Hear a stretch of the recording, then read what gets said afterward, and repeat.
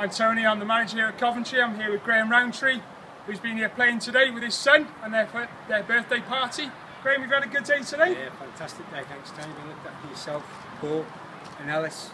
Uh, good, safe fun. In fact, the safety has really impressed me today. Just the, the strict safety procedures, and my lads have been in there three times.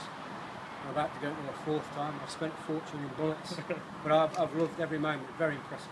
Awesome. No, it's been a great day. Thank you for today. Cheers, Tony.